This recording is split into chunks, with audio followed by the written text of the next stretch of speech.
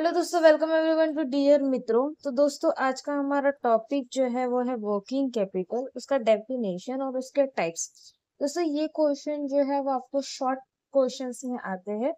Most probably इनके chances रहते हैं कि टोमा के क्वेश्चन में पूछेंगे। या तो फिर अगर कोई क्वेश्चन ऐसा आ गया, जो सिक्स मार्क का होगा तो बिग क्वेश्चन के अंदर होगा। तो दोस्तों ऐसे तो नॉर्मली ये चैप्टर बहुत ज़्यादा इम्पोर्टेंट नहीं है, लेकिन हम कोई भी चैप्टर्स को छोड़ते नहीं है, इसके लिए कंसेप्ट क्लियर होना बहुत ज़्यादा ज़रूरी है, भले ही आज वो काम ना है लेकिन फ्यूचर में आप कहीं पे भी जाओ तो आपको वो चीज़ समझ में आए, इसके लिए कोई भी कंसेप्ट हम पार्ट से नहीं छोड़ते। तो दोस्तों, जैसे कि आपने बोला वर्किंग कैपिटल वर्किंग कैपिटल क्या होता है? दोस्तों हम सभी को पता है कि हमारे पूरे बिज़नेस में दो टाइप के कैपिटल रहते हैं, एक हमारा रहता है फिक्स कैपिटल दूसरा हमारा रहता है वर्किंग कैपिटल ठीक है? फिक्स कैपिटल दोस्तों क्या होता है? जो फिक्स एसेट में इन्वेस्टेड होता है। और फिक्स एसेट आप सभी अकाउंट स्टूडेंट तो आप सभी को पता है कि फिक्स एसेट कौन कौन से रहते हैं? लैंड बिल्डिंग प्लांट मशीनरी ये सारे एसेट जो रहते हैं, वो फिक्स एसेट रहते हैं। जो लंबे समय के लिए हम इस्तेमाल करते हैं, ठीक है?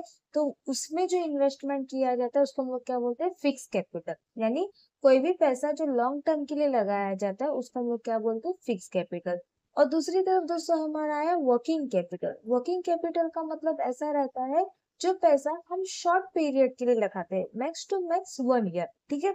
वन ईयर से कम हो सकता है, लेकिन वन ईयर से ज़्यादा नहीं हो सकता। उसको हम लोग क्या बोलते हैं दोस्तों? वर्किंग कैपिटल ठीक है? इसमें मोस्टली हम लोग क्या क्या लिखते हैं? कैश आ गया बिल्स रिसीवेबल आ गया बैंक बैलेंस आ गया, ये सारे एक्सपांस जो रहते हैं, वो हमारे क्या रहते हैं? करंट असेट इसको हम लोग करंट असेट्स के नाम से भी जानते हैं और इसको हम लोग वर्किंग कैपिटल के नाम से भी जानते हैं, ठीक है?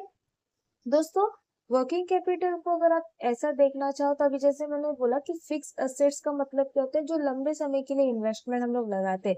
अगर उसको हम लोग बेचने के लिए निकाले तो हम तुरंत उसको बेच नहीं सकते। जैसे कि फॉर एग्ज़ाम्पल अगर आपने ज़मीन खरीदी, आज आपने एक ज़मीन खरीदी, आप तुरंत छह महीने के बाद उसको नहीं बेच सकते, है ना? उसको आपको थोड़ा इस्तेमाल करना पड़ेगा। तुरंत आप बेच के बेच के निकाल नहीं सकते। आप इस्तेमाल करोगे, उसमें थोड़ा बहुत इन्वेस्ट करोगे, उसमें अपना बिज़नेस स्टार्टअप करोगे, यानी लंबे समय के लिए चलाओगे। और उसके बाद अगर आपको लगे कि ये जो इन्वेस्टमेंट है, वो वेस्टफुल है, तब जाके आप उसको बेचोगे। यानी तुरंत एक साल में आप ये डिसीज़न नहीं लोगे कि आपको इसको बेचना है। उसको आप थोड़ा बहुत इस्तेमाल करने की कोशिश करोगे, क्योंकि पैसों की इन्वेस्टमेंट जो है, वो ज़्यादा है, ठीक है? लेकिन दूसरी तरफ़ दोस्तों वर्किंग कैपिटल जो है वर्किंग कैपिटल का मतलब जैसे मैंने पहले ही बताया कि जो हम लोग एक साल के अंदर अंदर तुरंत कैश में कन्वर्ट कर सकते हैं, उसको हम लोग वर्किंग कैपिटल बोलते हैं। जैसे कि स्टॉक स्टॉक आज हमने आज खरीदा है, उसको हमने अपने बाई प्रोडक्ट में बना दिया, उसको हम लोग ने बेच दिया।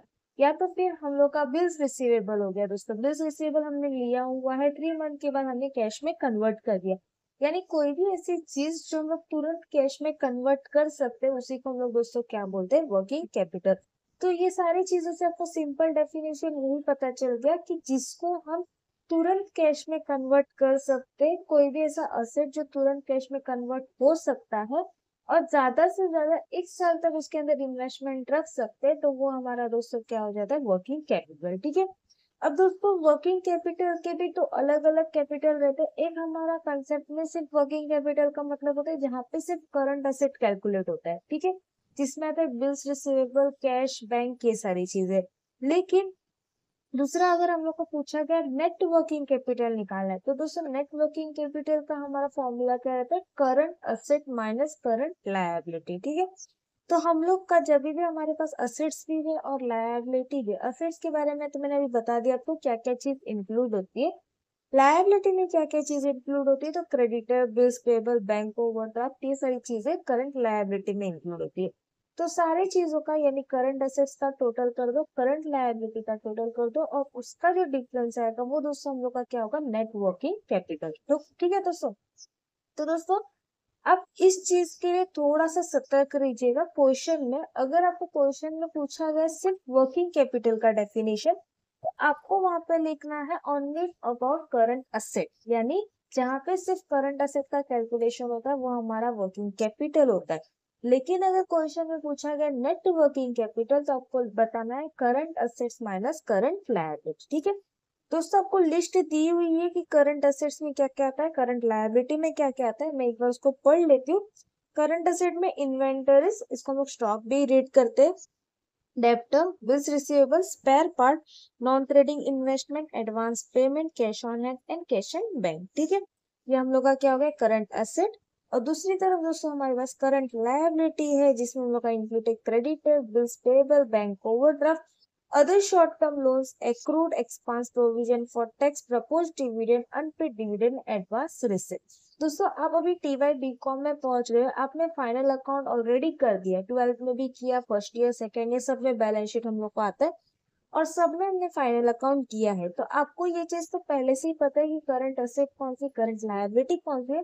लेकिन फिर भी अगर किसी स्टूडेंट को नहीं पता तो यहाँ पे हमने पूरी लिस्ट अभी पढ़ के बताई। ये सीखेगा तो वो भी एक बार रिमाइंड कर लीजिएगा और एग्ज़ाम में इसको लिख के आइएगा, ठीक है? अब दोस्तों, उसके बाद हम लोग का नेक्स्ट टॉपिक है कि टाइप्स ऑफ़ वर्किंग कैपिटल कौन कौन से तो हम लोग के वर्किंग कैपिटल जो है, वो दो टाइप में डिवाइड कर दिए गए। एक हम लोग का परमानेंट वर्किंग कैपिटल है और दूसरा हम लोग का वेरिएबल वर्किंग कैपिटल अब परमानेंट का दूसरा नाम फिक्स वर्किंग कैपिटल भी बोल सकते हैं, ठीक है? अब दोस्तों फिक्स वर्किंग कैपिटल का मतलब कौन सा कैपिटल है? जो कंपल्सरी हम लोग को साइड में निकाल के रखना पड़ता है, क्योंकि हमको पता है ये अमाउंट हम लोग को पे करनी है। यानी बिज़नेस चले या ना चले इनको हम लोग को पेमेंट करना ही करना है।